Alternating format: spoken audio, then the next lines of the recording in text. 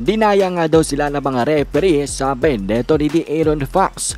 Matapos nga ng kanilang tough loss laban niya sa Los Angeles Lakers kung saan namin test neto ni Aaron Fox ang possible game winner sana ay nagreklamo nga siya after noon na foul nga daw yon.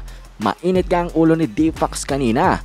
At pati nga mga idol sa Twitter hindi na napigilan ni Aaron Fox at sinabi niya mga idol ang mga sumusunod. Thought we were supposed to let the players decide the game. Well, ang pinapalabas lang naman neto ni Dave Fox sa kanyang ang tweet na yan ay dapat nga daw ang mga referee ay tapat pagdating sa pagtawag ng mga foul calls, hindi nagbibigay ng pabor. Dapat hindi nagkakamali pagdating sa mga possible fouls. Kagaya nga ng kanyang pagre-reklamo dito mga idol. Dapat daw ay foul itong si Russell Westbrook na tawagan ng foul call at bibigyan siya ng 3 more free throws to possibly win the game.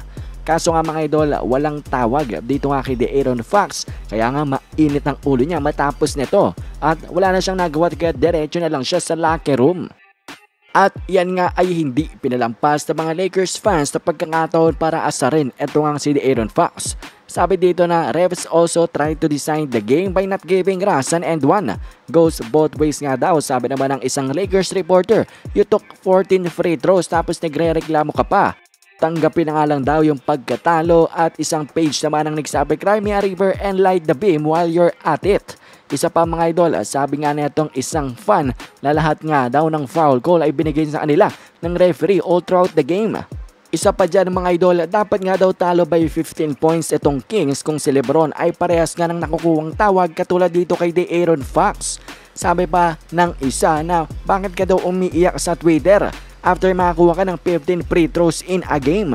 Pinatatahimik nga rin etong isang fan si D. Fangs at sabi lahat nga daw ng tawag ay nakuha mo at nagre-reklamo ka pa. At sabi pa nga dito na ilang free throw pa ba ang gusto mo, The Aaron Fox. Yan nga mga idol ang mga sinabi ng ilan sa mga Lakers fan na nagkomento. Halos hundreds mga idol ang nagkomento na pang-aasar nga at pang titrip dito nga kay The Aaron Fox matapos niyang magreklamo via Twitter. At matapos nga niyan mga idol ay ako ay naging curious kung tama bang sinasabi ni Aaron Fox na dapat foul si Russell Westbrook sa kanyang 3-pointer attempt na ito. Well, nag-search nga ako mga idol sa rulebook ng NBA and tama naman pala si Aaron Fox na foul nga yon. Nakita ko nga itong article na ito na kapag nga daw tinamaan ng defender ang Neto ang 3-point shooter kahit wala na sa kamay niya ang bola kahit natira niya na ito ay foul pa rin daw ito. So tama nga si Aaron Fox sa kanyang pagrereklamo na dapat yon ay foul. Kaso nga mga idol, ang problema dito kung gusto ni Aaron Fox na maging fair at tawagan dapat ito ng referee ay dapat tawagan din yung kanilang foul dito nga kay Russell Westbrook na dapat end one tapos dagdagan pa nga daw sabi ng mga NBA fans na mga missed calls dito kay Lebron James na pagkarami-rami nga daw.